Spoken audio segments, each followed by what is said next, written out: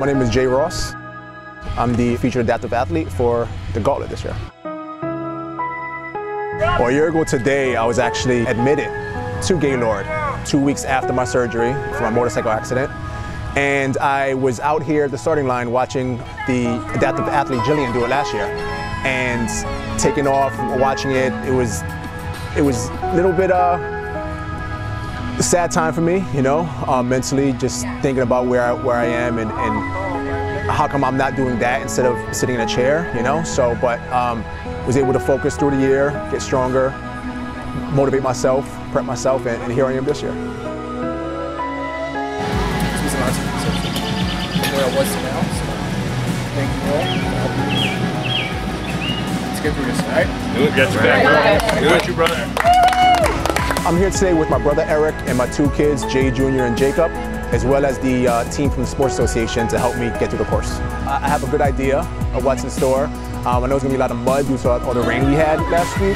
It's just another obstacle to get through. I'm, I'm, I'm ready for it and good to go. I'm super psyched. Woke up super early, couldn't even sleep well because I was so motivated and excited to get out here. This is a, a huge goal of mine. It's going to be a, a great accomplishment for me and, and such a great feeling once I pass that finish line.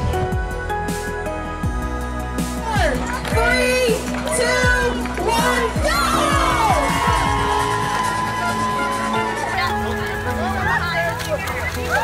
Good? Yeah, I'm good. All right. Whenever you're ready, Jay. Jay.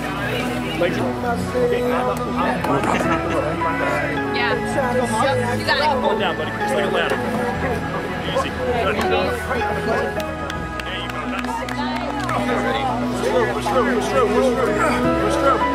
Good.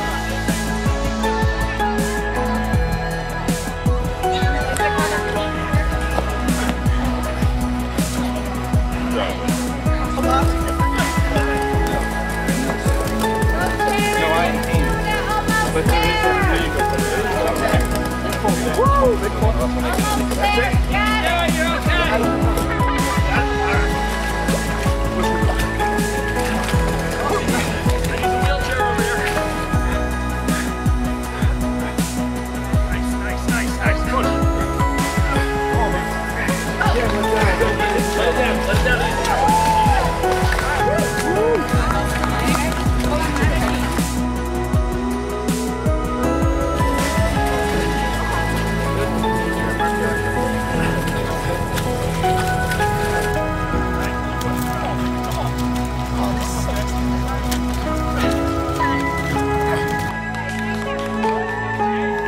The first few weeks in the hospital, I had moments where I thought my life as I knew it was over. You just never give up. It might seem hard at times to be in the situation you're in, but the next day, things get better. Um, trust in God, thank God you're alive, and, and just move forward. Um, life goes on, give your best and, your all in everything you do, and um, the results will be satisfying.